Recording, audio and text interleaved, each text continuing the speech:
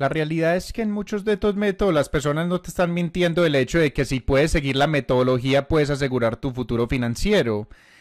La idea principal es poder hacerlo.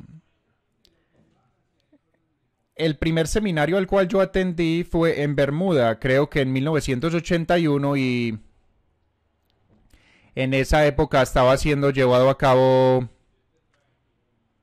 por personas que eran pesadas gurús del mercado y en la primera mañana de la conferencia todo el mundo estaba muy emocionado, todo el mundo estaba pensando que voy a aprender, no puedo, no veo la hora de empezar.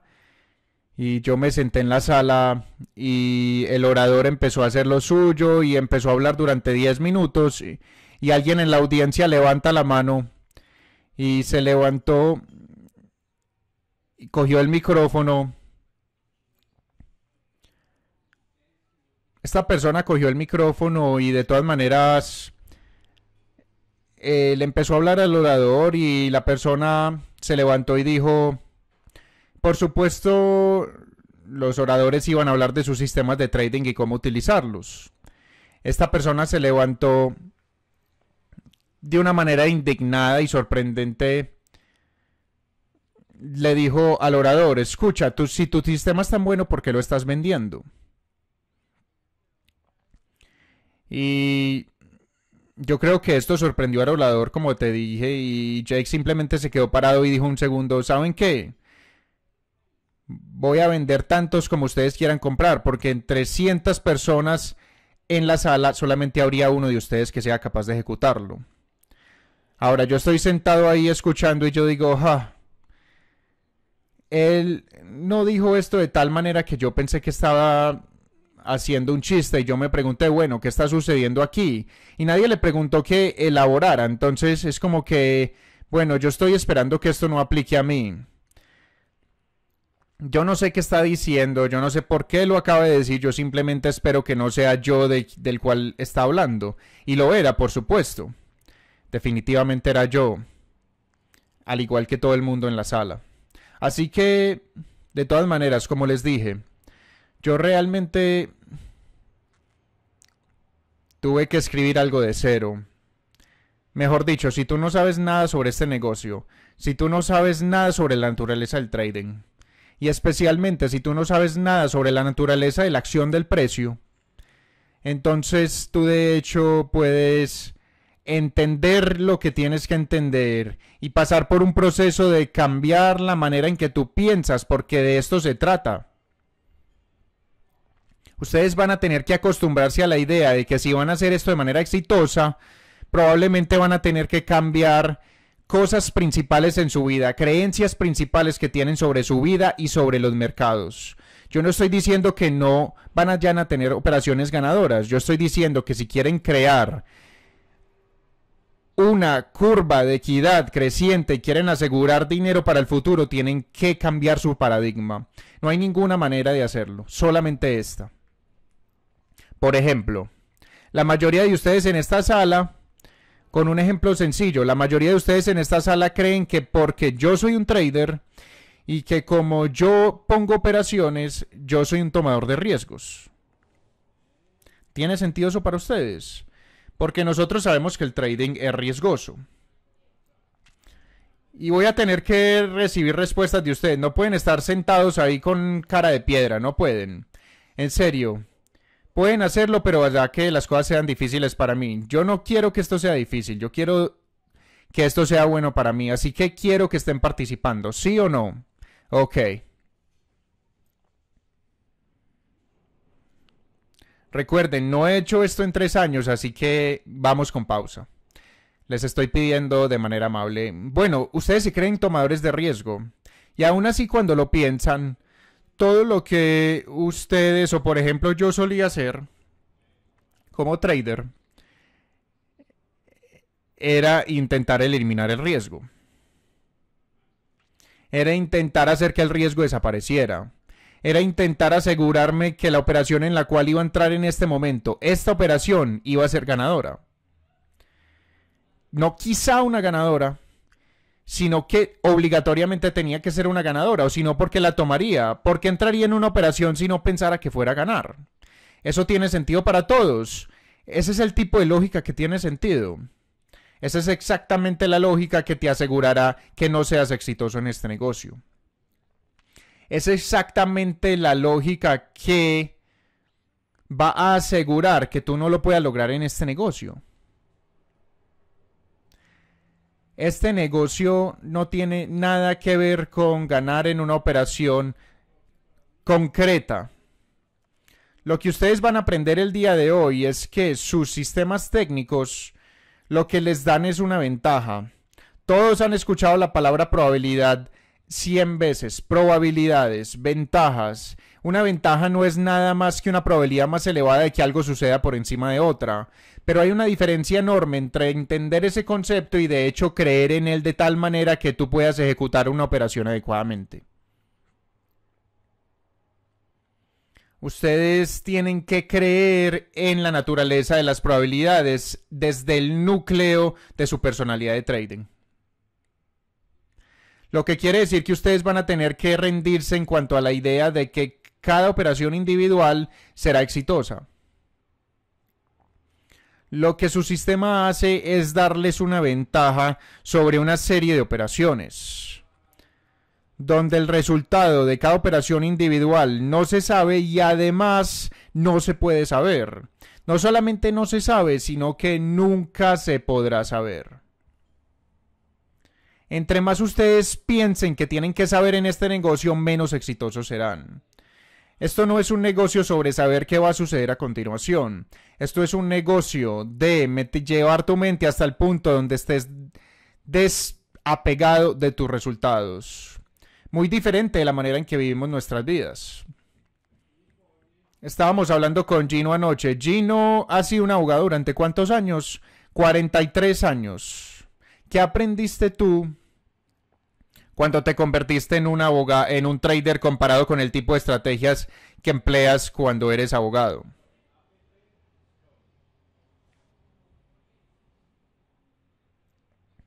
¿Escucharon lo que dijo? Todo lo que él utilizaba para ser un abogado exitoso es contrario a las estrategias y el pensamiento necesario para ser un trader profesional. Si yo soy un abogado y yo me desapego de mi resultado, si yo soy un abogado, ¿me puedo desapegar de mis resultados?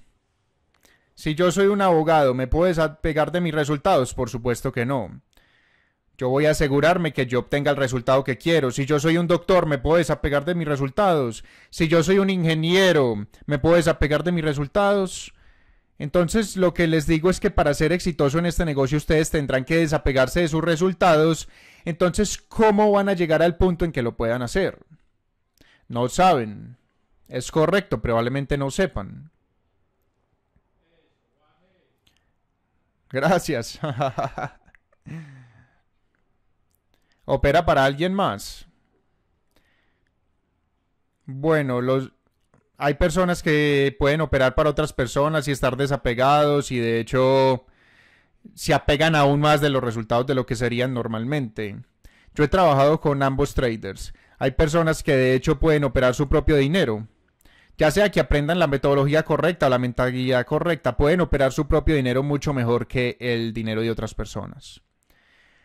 Porque están más preocupados por perder dinero para otras personas. Alguien que no conoces, bueno, de igual manera, hay muchas variables ahí.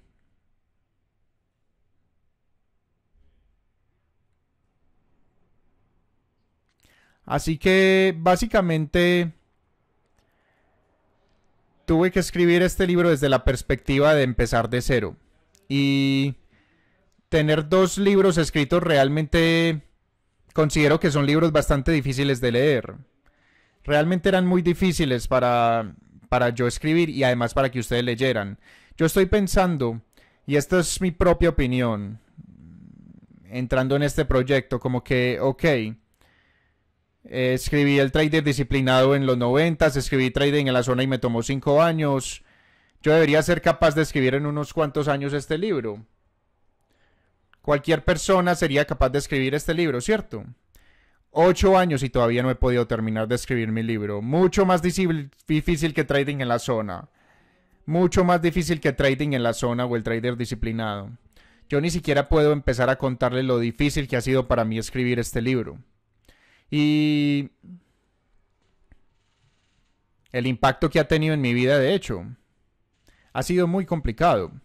Pero de todas maneras, yo me he dado cuenta que romper estos conceptos hasta llegar al núcleo para alguien que no conoce el negocio y pueda entenderlo, realmente no es una hazaña fácil. Y durante los años haciendo presentaciones definitivamente he asumido muchas cosas. Una cosa es saber operar y poder superar el punto de quiebre en el cual eres consistente. Por ejemplo, hay una, si estás debajo de cero y estás ganando y perdiendo, probablemente tu dinero está aumentando, está reduciendo, está aumentando, está reduciendo y tú quieres romper lo que yo llamo el punto cero de la consistencia. Y esta es una mentalidad y no tiene nada que ver con tu metodología, eso no es nada. Pero tienes que tener una buena ventaja, por supuesto. Hay muchas buenas ventajas, por supuesto, por allá afuera y estrategias. Así que esta es una mentalidad. Dividir estos conceptos de tal manera en que pueda llegar al núcleo, realmente asumí muchas cosas. Y poder romper mis propias ideas fue un proceso muy difícil. Porque a lo que estaba llegando yo es que una cosa es aprender cómo operar para ti mismo. Y como sea que tú intentes romper este punto cero de consistencia otra cosa es intentar enseñarle a las personas a hacerlo. El proceso de hacerlo y enseñar a las personas a hacerlo son dos mundos diferentes, casi que no hay ninguna conexión. Casi que no hay ninguna conexión en absoluto, porque hay muchas personas que enseñan trading porque se han vuelto traders exitosos, legítimamente exitosos, y ellos lo enseñan desde su perspectiva. Mientras que no se dan cuenta que su audiencia no está ni siquiera cerca de su mentalidad. Y no puede hacer lo que ellos hacen. Cuando yo estaba entrenando traders en los 80s hasta los 90s, no voy a mencionar nombres, pero habían gurus de trading por allá afuera que tenían seguidores enormes, personas brillantes, muy exitosos como traders, pero no sabían cómo enseñarlo, no entendían de dónde venía la persona común y los clientes prácticamente suicidas se desarrollaron a partir de escuchar a esta persona, las personas que terminaron en la calle dispuestos a hacer lo que sea por lograrlo. Solamente porque no sabían enseñar, eso es todo y porque el proceso de aprender a enseñarlo simplemente es completamente diferente del proceso de aprender a hacerlo. Entonces, como les dije, yo asumí muchas cosas y esas cosas que asumí resultaron en en hacer que fuera bastante difícil para las personas leyendo el trader disciplinado y, y, trading en la zona que pudieran sacar el mensaje y pudieran superar este punto cero de la consistencia. Y realmente yo no sabía eso casi hasta el final del libro, donde en un ejercicio en trading en la zona, cuando yo terminé ese libro como en 1999, es como que yo pensé que lo había logrado explicar. Realmente pensé que había logrado explicar esto. Y voy a disculparme con ustedes ahora dándome cuenta que no lo hice. Yo realmente no lo expliqué porque en este nuevo libro yo dediqué 30 páginas específicas a solamente un ejercicio. Porque lo que yo asumí principalmente es que todo el material que yo escribí como una base para poder hacer un ejercicio, de alguna manera las personas iban a lograr la manera de asimilarlo y darse cuenta de las conexiones por cuenta propia. Y luego cuando yo empecé a de hecho llegar al punto donde tenía que revisar el ejercicio con personas, me di cuenta que eso no iba a suceder. Y la razón por la cual yo sé que no sucedió es porque yo iba a hacer presentaciones y, por ejemplo, en el 2008, 2009, 2010 o lo que sea, eh, hice varias presentaciones seguidas. Como les dije, hice 8, 9, 10, 11 o 12 presentaciones en el 2012 y en el 2010 yo pasé por una presentación completa y expliqué lo que yo sentía que las personas tenían que entender y el ejercicio como tal. Básicamente lo expliqué en el contexto de trading en la zona y luego el siguiente año algunas personas, algunas de las mismas personas, ya sea que hubieran 100 personas en la sala, un porcentaje de ellos estaban el año anterior y yo les preguntaba cuántos hicieron el ejercicio y nadie lo había hecho. Y no solamente eso, yo me preguntaba, ok, todo el mundo en la audiencia prácticamente digamos que un gran porcentaje de las personas en la audiencia han leído trading en la zona y yo decía, ok, muchas personas han leído trading en la zona, algunas personas decían que lo habían leído múltiples veces y yo me preguntaba, ¿cuántos hicieron los ejercicios? Nadie. Y es como que en el 2011 esto realmente me impactó, esto realmente me impactó, yo no lo entendía, yo realmente no lo entendía. Y en el 2011, alguien en la audiencia mm, estábamos cerrando, estábamos llegando al punto donde la presentación eh, había sido completada y alguien me dijo, bueno, ¿Cuántos de ustedes creen que van a hacer el ejercicio? Y yo dije, nadie. Todos estaban pensando algo malo sobre eso, porque yo fui muy sincero y yo les dije, ninguno de ustedes lo van a hacer. Y el siguiente año, en el 2012, bueno, unas cuantas personas lo habían hecho y obtenieron los resultados que estaban buscando.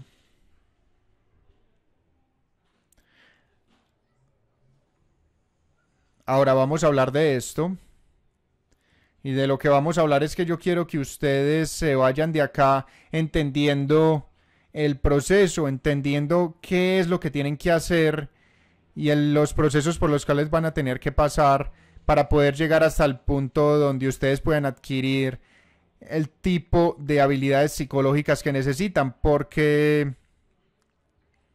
no hay nada del trading que sea físico. ¿Con qué estás interactuando? Estás interactuando con información.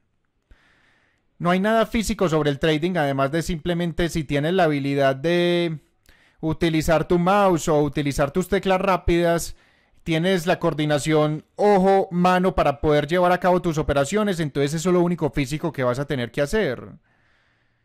Estás preparado para hacer trading si sabes hacer eso, por lo menos en cuanto a lo físico. Realmente todo es mental. Es cómo interactúas con información, el estado mental en el cual estamos. Las personas no se dan cuenta que esto es como para realmente hacer trading a un nivel elevado en lo que yo llamo eh, la ruta discrecionaria, en cambio al trading mecánico donde tienes una serie de criterios que definen tus entradas y salidas y es rígido. Así que, por ejemplo, el mercado tiene que ponerse de cierta forma y tiene que conformarse a reglas o no haces nada. Hay una manera mecánica de hacer esto donde el mercado tiene que estar de acuerdo a tus reglas de entrada y salida o no haces nada. No hay nada que hacer, no hay nada en que pensar. Simplemente debes entrar cuando dice, poner tu stop donde dice, poner tu objetivo donde dice y sucede o no. ¿Ok? En el modo subjetivo, básicamente discrecionario, puedes entrar cuando quieras, puedes hacer lo que quieras basado en cualquier información que tú te expones a ella y como sea que quieras combinar esa información en tu mente para poder encontrar una entrada una salida y dónde poner tu stop y dónde tú poner tus objetivos. Estar en ese modo y hacerlo de manera exitosa, tienes que estar en un estado elevado de mente. Porque lo que tú te encontrarás es que es tu actitud, es la calidad de tu estado mental. ¿Será que estás confiado? ¿Será que tienes miedo? ¿Será que no te importa nada? ¿Será que estás agitado? ¿Será que estás enojado? ¿Será que estás sintiendo que tienes que vengarte del mercado? Quizás estés pasando por un trauma personal emocional. Si alguien que te conoce que estaba haciendo trading era un trader a tiempo completo y estaban pasando por una experiencia traumática en su vida, ¿les avisarían que operaran o no? ¿Tiene sentido? No. Simplemente tiene sentido que no operen. Y aún así lo que las personas no se dan cuenta es que hay grados de estados mentales. En un lado tienes una mentalidad positiva que es confianza y en otro lado tienes miedo y hay un montón de grados de confianza y miedo. Y hasta que tú seas consciente de dónde estás en ese continuum, tú tienes que ajustar la manera en que operas basado en tu conciencia de dónde está tu estado mental. Porque tus resultados van a reflexionar eso, van a reflejar eso. La manera en que tú escoges la información o la manera en que eliges qué información utilizar tu ubicación de tu trading, tu tamaño, tu stop, tu objetivo, todo será reflejado en tu estado mental. Les voy a dar un ejemplo. Eh, acabamos de llevar a cabo la final del NCAA, del fútbol de universidad. Ahora, si yo les dijera que a nivel profesional o de hecho hasta en los universitarios, algunas de estas personas pueden hacer su deporte con éxito, ¿ustedes refutarían eso? El hecho de que ellos practican miles de tiros a la vez y ellos pueden llegar a los penaltis y simplemente pueden meter 25 seguidos, 30 seguidos. Hay personas que pueden hacer eso. Entonces, si puedes hacer eso, entonces tienes tu memoria muscular en su lugar. Tus músculos son como pequeñas células de memoria, están en su lugar y de esta manera tú sabes, todas las variables físicas son exactamente iguales cada vez, sin importar dónde lo estés haciendo.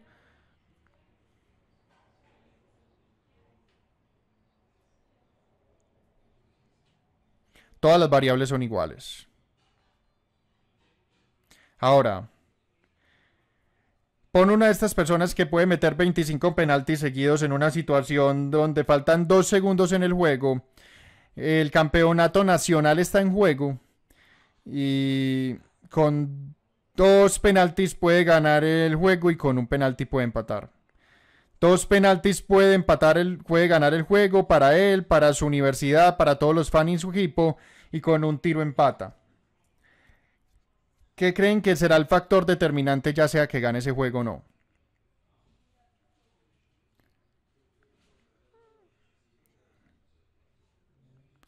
A un nivel general, ¿cuál será el factor determinante? Mental, el estado mental, por supuesto. ¿Por qué creen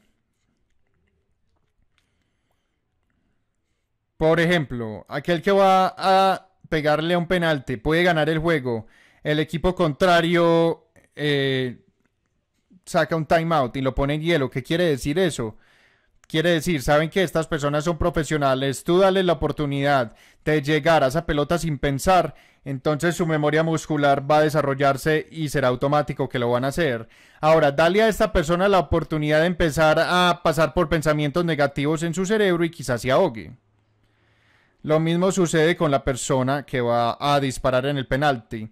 Si puedes mantener tus pensamientos positivos y enfocados en el proceso que tienes que hacer, entonces probablemente vas a ser capaz de meter los dos penaltis. Pero si empieza a pensar cómo su vida se va a ir a la mierda, a la mierda completa, si se pierde esos dos penaltis, entonces las probabilidades son que los va a perder.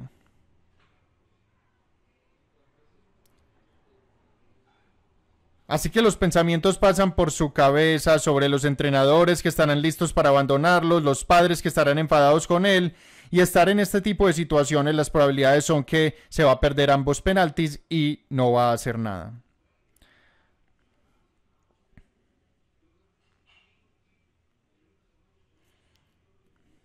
Entonces estamos hablando de... Podemos pasar de la confianza normal a un punto de euforia que es igual de malo que estar en un estado de miedo para un trader. Al igual que este niño que va a chutar el penalti. Digamos que, por ejemplo, él está parado en la línea de penalti y él empieza a pensar en qué tipo de héroe será en unos cuantos segundos. Y él empieza a celebrar en su mente antes que de hecho tire el penalti. Ese grado de extra de emoción quizá pueda tener suficiente impacto en la manera en que la pelota deja sus pies para que él se pierda el penalti. Entonces no puede ser demasiado, no puede ser poco, tienes que estar con la cantidad correcta de confianza y también estar enfocado de la manera correcta antes de poder pegarle al balón y meter el penalti. Porque la memoria muscular siempre está ahí. ¿Alguien tiene algún problema con esto? Cuando estamos haciendo trading de manera discrecionaria, estos son los tipos de cosas de las cuales tenemos que ser conscientes. Estamos interactuando con información. La analogía sería que la memoria muscular del niño sería nuestra memoria de todos los diferentes patrones que hemos aprendido sobre cómo definir una entrada. Los patrones están en nuestro cerebro, podemos identificarlos cuando los vemos en el mercado. Cómo utilizamos esos patrones será una función del estado mental en el cual estamos.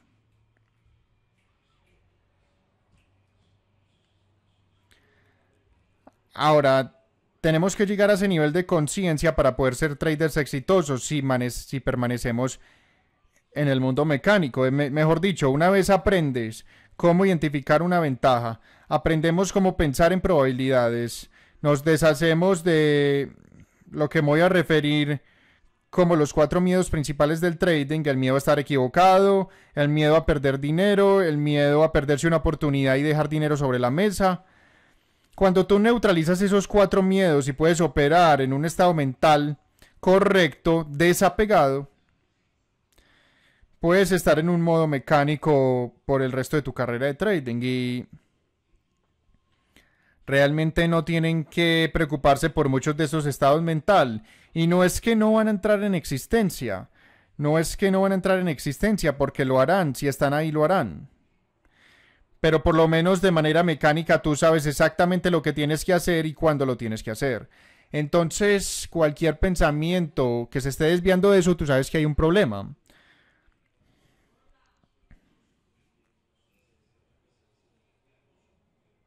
Y voy a darles detalles. Voy a darles ejemplos, así que no se preocupen mucho. El miedo a estar equivocado, el miedo a perder dinero, a perder oportunidades y a dejar dinero sobre la mesa.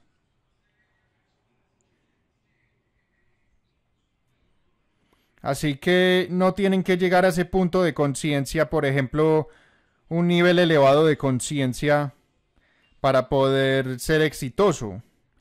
Pero definitivamente tienes que estar en ese nivel elevado de conciencia si tú no quieres crear unos resultados desastrosos en el modo subjetivo. La mayoría de las personas están operando más allá de su nivel de habilidades, queriendo decir que deberían estar operando mecánicamente y están operando subjetivamente de manera discrecionaria y no tienen las habilidades de poder hacerlo correctamente. Porque en ese modo puedes hacer lo que quieras. En el modo mecánico, yo diría que incluso pensar en una acción es un error de trading. Y en el modo subjetivo y discrecionario, si quieres mover el stop, lo puedes mover. Puedes sacar un stop, lo puedes hacer. Porque la idea es que no lo estás haciendo desde un estado de miedo. No lo estás haciendo por los miedos a tu resultado. Lo estás haciendo porque eso es lo que el mercado te está diciendo que hagas en este momento basado en tu habilidad de leer el mercado desde un punto de vista objetivo. Porque todo error, todo error que tú puedes cometer como trader será el resultado de tener miedo a estar equivocado, tener miedo a perder dinero, tener miedo a perder oportunidades o dejar dinero sobre la mesa.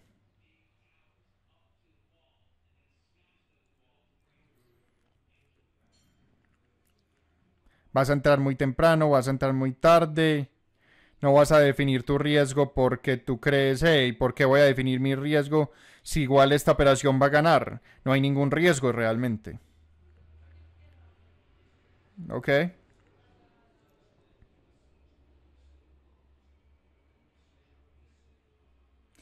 Lees todos los libros, vas a todas las conferencias y te dicen no hagas esto sin determinar cuál es tu riesgo antes de entrar en una operación. Así que tú piensas, ok, todo el mundo dice que lo tengo que hacer, entonces lo haré. Así que básicamente es como que, ok, tú pones un stop en el mercado y eso es lo que las personas utilizan por eh, stops en porcentaje en vez de stops estructurados. Los stops estructurados es donde de hecho estás leyendo el mercado de tal manera donde Estás buscando dónde está el lugar basado en estructura que te dice que esta operación no está funcionando, la probabilidad de que deje de funcionar sea tan reducida en relación con el objetivo de precio que ya no vale la pena estar en esa jugada. ¿Entienden lo que les acabo de decir? Ok, eso es un stop basado en estructuras. Cuando tú tienes un stop arbitrario como 1 o 2%, hay personas que hacen eso y las personas normalmente es un manejo del riesgo incorrecto. Realmente no creen que van a ser sacados por stop.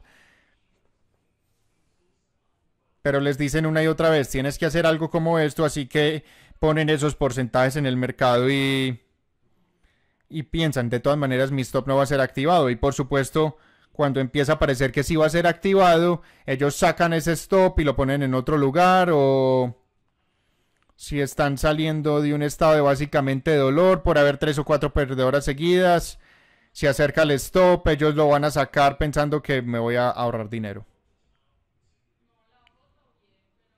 ¿Alguien en esta sala ha hecho esto? Ok.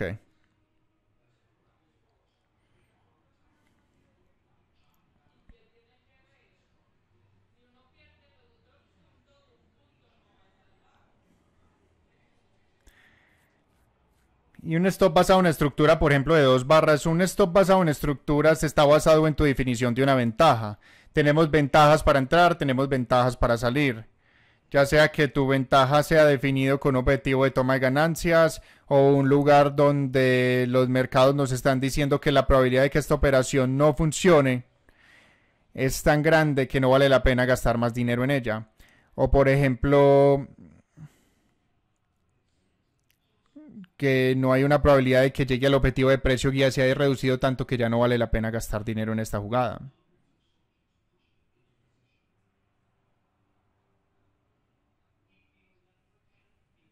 Cero miedo. Absolutamente cero miedo. Absolutamente cero miedo. Yo quiero repetir eso. Absolutamente cero miedo.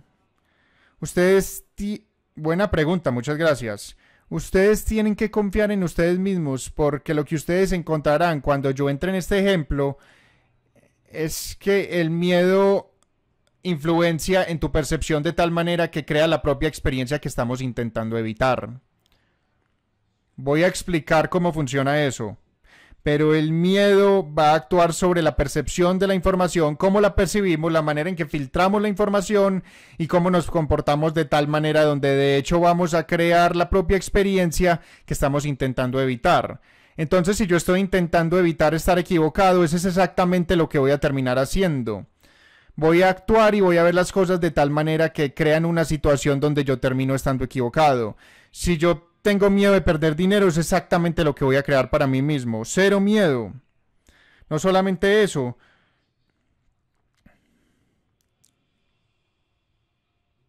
El miedo y la confianza son contrarios. Tú tienes que ser capaz de confiar en ti mismo. Tienes que ser capaz de confiar en ti mismo por completo hasta el punto en que puedas actuar en tu mejor interés. Antes de sentir dolor. ¿Cómo puedes ser exitoso en este negocio si tienes que sentir dolor para poder salir de una operación perdedora?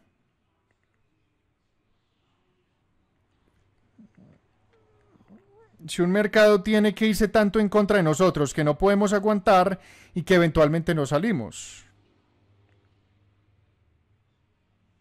No, nada de ansiedad, nada de miedo. Un estado mental completamente libre. Tienen que llegar al punto donde sean objetivos por completo. No pueden importarles el resultado. Y no fue hace mucho tiempo cuando yo les digo, deben desapegarse del resultado. Tienen que alinear sus expectativas con la realidad del ambiente en el cual están operando. Ustedes están operando en un ambiente de probabilidades. Eso realmente quiere decir, eso realmente quiere decir probabilidades. Quizá, quizá, quizá voy a obtener el resultado que mi ventaja dice que voy a obtener o que estoy prediciendo que va a suceder. Quizá voy a demostrarte esto. Una de las razones por las cuales yo escribí este tercer libro es porque llegué a la realización de que mis experiencias personales como trader empezando, yo empecé a hacer trading en el 78, así que mis experiencias personales como trader y luego yendo a trabajar a Merrill Lynch en la Bolsa de Valores de Nueva York como trader minoritario, yo aprendí cosas sobre cómo el mercado funciona que normalmente estando adentro en la industria las personas simplemente no entenderían, así que yo también tomé eso a la ligera. Y lo que las personas no entienden es que cuando cuando no, no entienden fluidez de la orden, cuando no entienden la naturaleza de la fluidez de la orden y cómo los precios se mueven desde una fluidez de órdenes, es muy difícil aprender a entender viendo precios moviéndose en una pantalla de tal manera que tú puedas pensar como que, ok, tengo que pensar de esta manera o la otra. Entonces, cuando no entiendes fluidez de orden, eso realmente te arruina tus probabilidades de tener éxito porque todo lo que yo te estoy diciendo se va a volver evidente para ti. Cuando tú entiendes fluidez de las órdenes, todo lo que yo te digo será como que, ok, sí, eso tiene sentido. Entonces, si yo te digo que si tú tienes que alinear tus expectativas con la realidad del ambiente en el cual estás operando, eso quiere decir que tú no sabes cuáles serán tus resultados. No hay ninguna manera en que tú puedes saber cuáles serán tus resultados. También les voy a decir que ustedes no saben por qué están ganando o perdiendo. Cuando ustedes entiendan fluidez de órdenes, ustedes van a entender que no hay ninguna manera de poder saber si vas ganando o perdiendo hasta que te des cuenta. Piensa en eso por un segundo. Tú no sabes por qué estás ganando o perdiendo y no hay ninguna manera de descubrirlo. Entiendes cómo los precios se mueven hasta el punto en el cual puedes pensar, sí, ok, eso tiene sentido para mí. Se los voy a explicar si no tiene sentido en este momento. Las implicaciones de lo que yo les acabo de decir es que toda predicción que tu metodología hace en ese sentido es adivinar. Y si estás adivinando, las implicaciones son, adivinen qué, están apostando.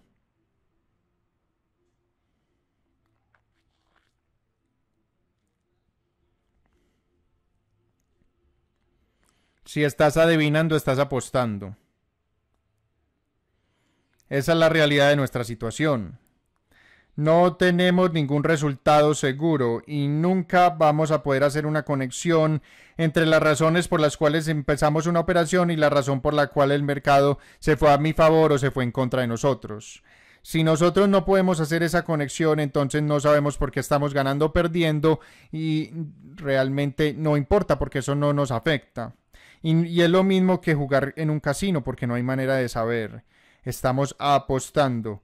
Tenemos que aceptar el hecho de que estamos utilizando análisis, sin importar qué tan bueno sea tu análisis, no me importa qué tan sofisticado sea, no hay ningún análisis que pueda sacar el elemento de apostar del trading. Escúchenme, no hay ningún análisis que pueda sacar el elemento de apostar del trading. No hay ningún análisis que pueda eliminar el riesgo. No hay ningún análisis que pueda asegurarnos que esta operación será ganadora. Cuando tú entiendes fluidez de órdenes, tú vas a estar de acuerdo con lo que yo estoy diciendo. y luego vas a empezar a pensar en todo esto de manera diferente. Así que en vez de intentar evitar el riesgo, en vez de intentar utilizar tu análisis para evitar lo inevitable, de hacer lo imposible, aceptarán el riesgo y lo entenderán desde un punto de vista probabilístico y luego todo va a cambiar. Todo va a cambiar. Y verás un mercado diferente, verás las mismas barras, pero lo interpretarás de tal manera que es como que, ok, eso tiene sentido. Es como que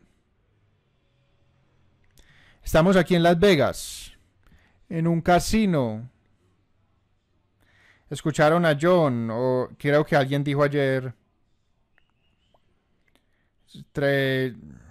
sobre trading en la zona. Sé el casino. Bueno, esto quiere decir, los casinos saben que tienen la ley de probabilidades funcionando a su favor. La ley de las probabilidades es como la magia. Los casinos realmente no están apostando porque ellos sí están apostando de cierta manera desde una perspectiva, pero no de otra.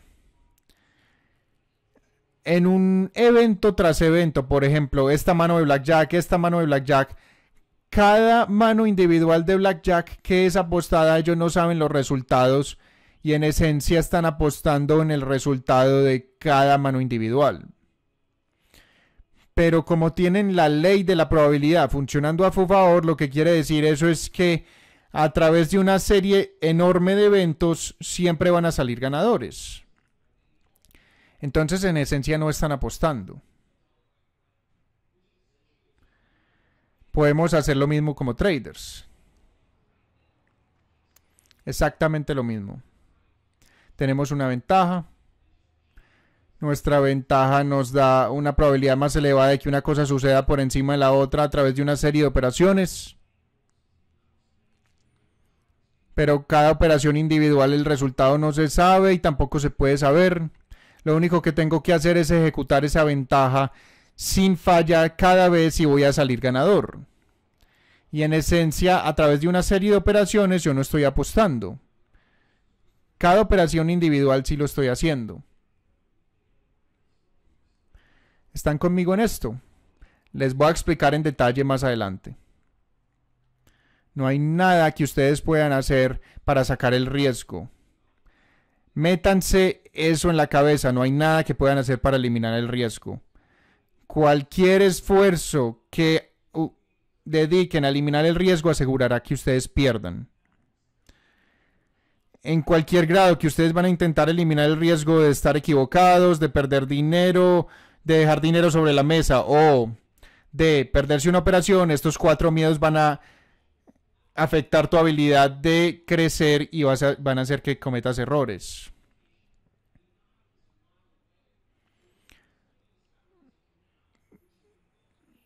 Yo no sé cómo tú defines un buen jugador de póker, así que sería difícil para mí responder esa pregunta.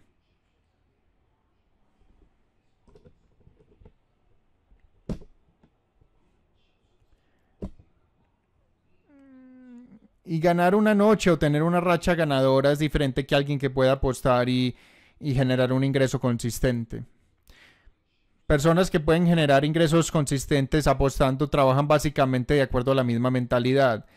Y hay muchos factores también, hay muchas variables. Las personas que se sumergen en el trading, en el en apuestas, realmente hay muchas dinámicas en su lugar que no son diferentes desde un punto de vista psicológico, pero por ejemplo, y yo no apuesto, yo realmente no juego blackjack o algo por el estilo, pero de todas maneras...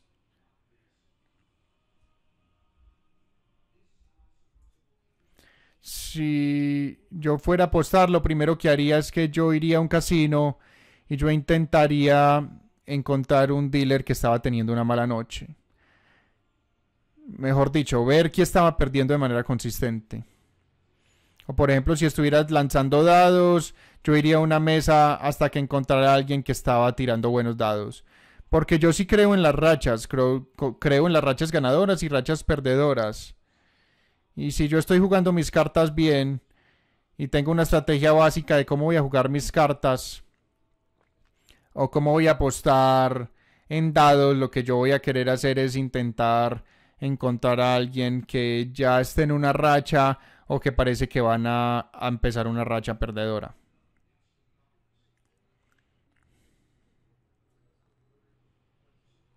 Si pudiéramos tirar una moneda, una moneda al aire mil veces seguidas, encontraríamos un patrón indudable donde habría muy poca diferencia entre cara y cruz si la moneda es correcta. Este sería un patrón que aparecería una y otra vez y tú de hecho podrías apostar sobre él. Podrías apostar del hecho de que si tiro las monedas suficientes veces, como mil veces, entonces la relación entre cara y cruz sería un entre 1%.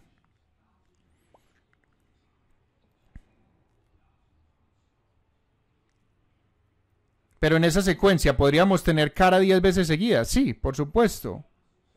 Yo no dije que podíamos predecir eso. Yo simplemente lo que estoy diciendo es que estoy buscando situaciones donde es probable a que esto es lo que vaya a suceder. Si alguien va en una racha ganadora, entonces yo sé que yo no sé cuánto tiempo va a perdurar o por qué. A mí no me importa, yo simplemente estoy buscando ventajas. Eso es lo único que estoy diciendo. Así que para responder su pregunta sobre las apuestas, no es una buena correlación porque hay demasiados factores involucrados. Pero de todas maneras, simplemente buscar esa ventaja.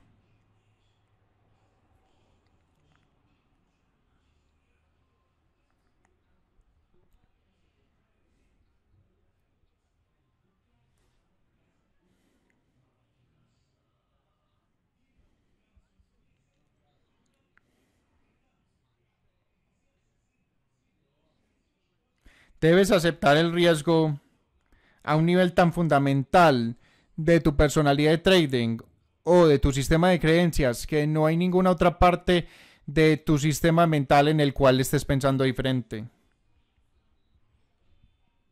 Lo que quiero decir es que cuando has aceptado que puedes poner esta operación y yo no sé cuál será el resultado, no me importa cuál será el resultado, porque he adaptado una serie de operaciones y una perspectiva queriendo decir que yo no sé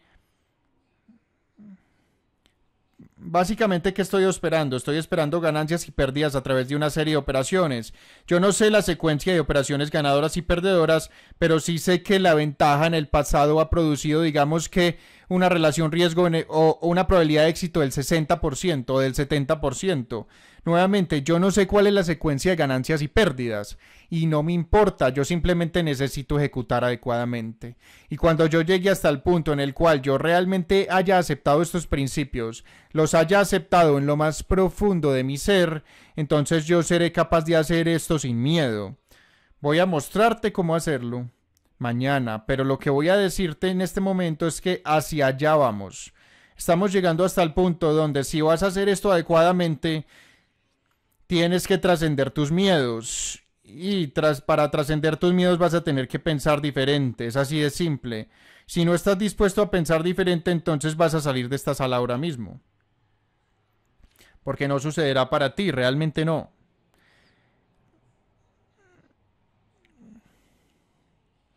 Ya suficientes casos de personas que han estado en este negocio durante años, que han perdido una o dos fortunas, hasta que lleguen hasta el punto donde llegan a la realización de que saben que mi estrategia de vida no está funcionando en este negocio. ¿Por qué creen que hay un tema recurrente entre todos los traders buenos? Este tema recurrente de que la mayoría de ellos han perdido una o más fortunas antes de poder llegar al punto de quiebre y poder crear resultados consistentes. Es porque eso es lo que fue necesario. Tomó perder todo ese dinero para poder romper la resistencia de su sistema disfuncional de creencias sobre la naturaleza en este negocio o las ideas erróneas sobre lo que se trata esto. Y las ideas erróneas normalmente tienen que ver con análisis.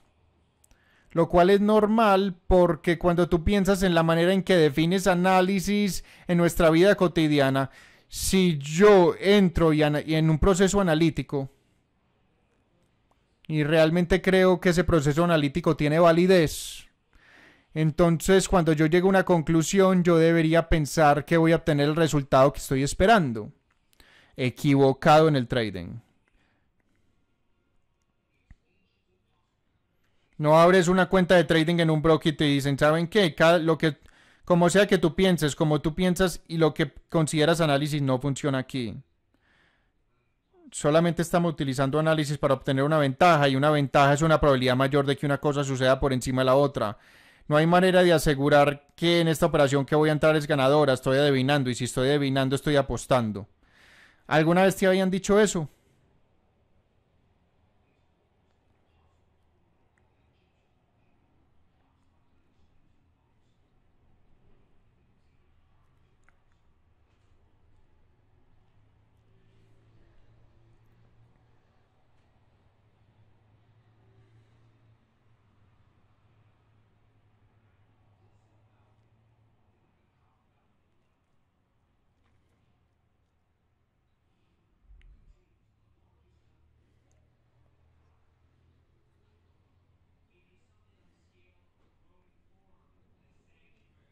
Nunca estás eliminando el riesgo, tú estás aceptándolo, nunca estás eliminándolo. Tienes que llegar hasta el punto donde, como te dije, no hay ninguna pregunta en tu mente de que el riesgo siempre existe. Ahora, cuando dices eliminar el riesgo, hay una diferencia entre lo que tú dices que es reducir riesgo en una perspectiva de administración del capital y de hecho eliminar el riesgo. Cuando reduces el riesgo en una perspectiva de administración de capital es porque el mercado te está diciendo, número uno, esa es tu estrategia y el mercado te está diciendo que es un buen lugar para tomar ganancias. Tú puedes decir, puedes decir, sí, estoy reduciendo el riesgo, pero eso no es lo que yo estoy diciendo. Yo estoy hablando desde un punto de vista psicológico de hecho aceptar el riesgo. ¿Ok? Entonces, sí, son diferentes, pero estos son diferencias sutiles y este es el tipo de cosas que nos meten problemas. No entendemos estas cosas sutiles y nos metemos en muchos problemas.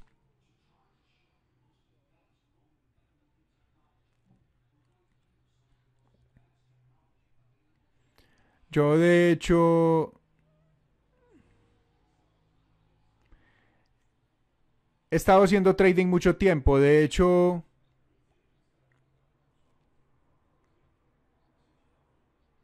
Yo apagué mi plataforma hace tres años pensando como que, ¿sabes qué? Yo no quiero estar distraído con el mercado. Yo quiero terminar en tres meses. Y todavía no he terminado. Y todavía no he vuelto a aprender mi máquina de trading. Así que ni siquiera estoy observando los mercados en este momento.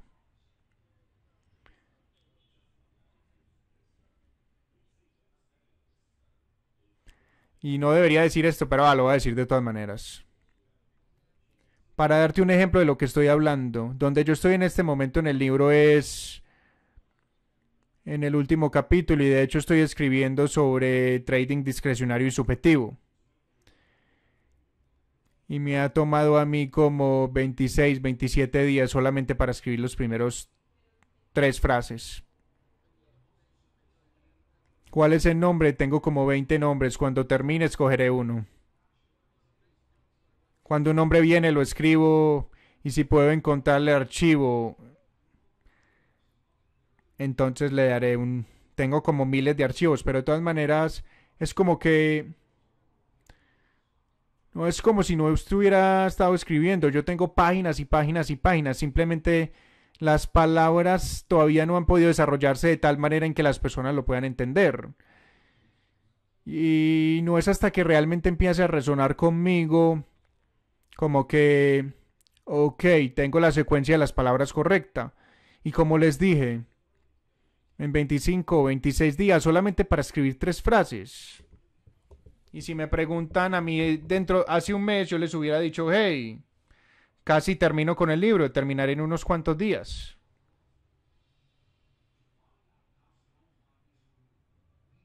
lo que realmente me asusto en la siguiente parte es intuitivo. Ahora, solamente tengo unas cuantas cosas sobre riesgo intuitivo. Lo único que tienes que hacer es encontrarlo. Y leí eso hace muchos años, así que Voy a tener que encontrar lo que escribí. Lo encontraré. No es como si estuviera perdido, pero... Bueno, de todas maneras, ¿dónde estamos? Eh...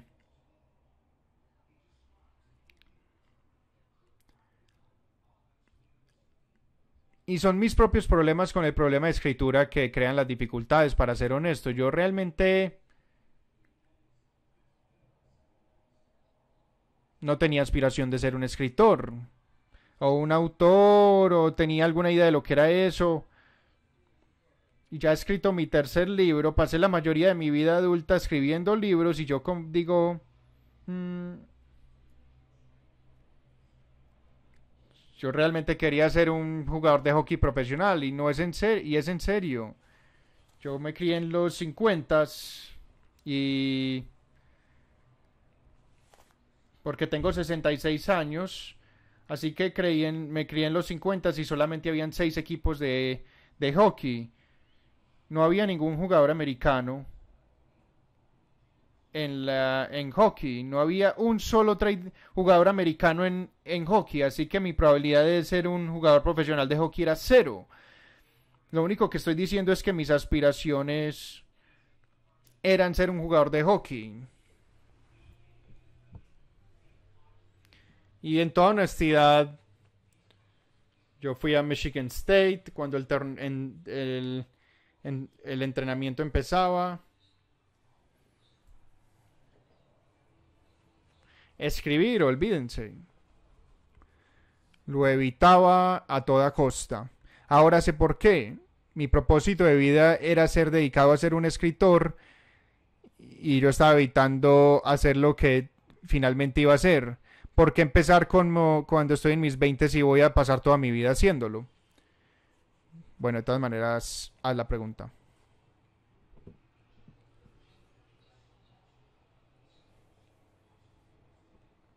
Todas son variables individuales y podría ser cualquier cosa. John está aquí, John, ok. John, estábamos hablando anoche en esta fiesta y John empezó a hablar de, hizo una conexión, una conexión sobre ser un héroe.